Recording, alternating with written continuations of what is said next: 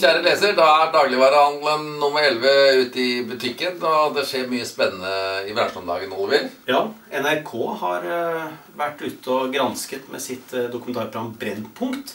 Og de har vært helt til Las Vegas for å dra på kjøpmannsfest for eh, Rema-eiere. Og de skal fortelle om hvordan noen få mennesker har tjent mye penger på dagligvarer.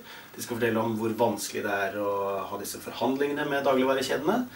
Og de intervjuer bl.a. Rune Forsberg, som er i Hval sjokolade. Så det blir et kritisk syn på dagligvarebransjen antagelig. Ja, det er mange som har sett frem til dette, og noen har fått se programmet allerede. Eh, og de sier at eh, det kommer frem mye spennende. Men Reidar, Ja, eh, søndagsåpne butikker trodde jeg vi var ferdig å diskutere, men det er vi ikke.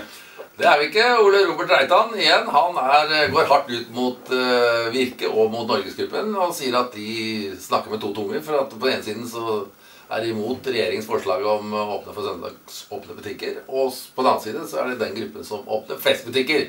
For de har mange småbutikker som er godt tilpasset den såkalte Brustadbu-modellen. Og nå vil han ha enda flere.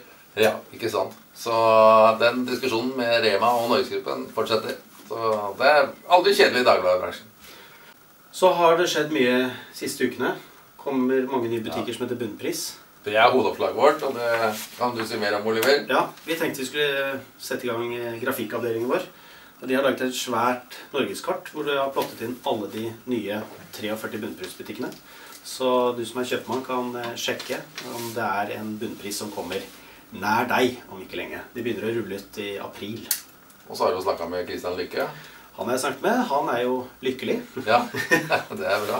Vi er også lykkelige, for dette er eh, noe som skjer én gang i året. Dagligvarefasiten 2015. Der får du de siste oppdaterte tallene om eh, hovedstrukturen i dagligvarebransjen. Og tallene er det Nilsen som har samla inn. Tallene er eh, tallknuseren Nilsen Norge som gjør eh, i samarbeid med oss. Og så må vi ikke glemme et minitema om renhold og hygiene. Vasketid. Vasketid. Det er viktig butikk. Rene butikker selger bedre. Jeg så til og med at man kunne lære å vaske uten såpe. Ikke sant? Lurer på om det blir rent. Ja, det skal bli veldig bra, men det får du lese mer om i avisa. Ja. Oliver, da gjenstår vel bare å ønske alle sammen God lesing.